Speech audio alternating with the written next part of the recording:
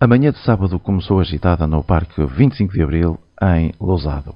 Preparava-se a mostra comunitária que se repetiu no mesmo local neste ano de 2019.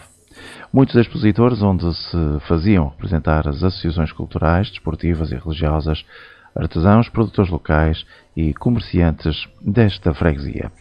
Muitas atividades agendadas para esta mostra comunitária que abriu com a atuação da fanfarra do CNS 124 de Lousado, as demonstrações de artes marciais e defesa pessoal de Alex Jiu-Jitsu, núcleo de Lousado, um porto de honra que contou com a presença do vereador das freguesias e associativismo, oferecido por sabores lurienses, e também a degustação dos sabores tradicionais, preparado pela Comissão de Festas que assegurou o almoço e o jantar jogos tradicionais na tarde de sábado para adultos e também os contos de Sandra Escudeiro para os mais pequeninos.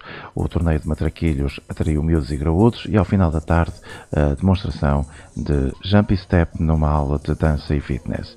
A visita ao certame aconteceu ao início da noite de sábado. Mário Passos, vereador da Câmara Municipal de Famalicão, passou pelos expositores, acompanhado pelo executivo da Junta de Freguesia de Lousado. No final da visita, na Passadeira Vermelha, passaram modelos com peças de vestuário de uma loja da Freguesia de Lousado. A finalizar mais uma mostra comunitária, o 31º Festival de Folclore de Santa Marinha de Lousado. A animação durou ao longo do dia e a comunidade juntou-se para mais um convívio e festa. Para o ano haverá mais.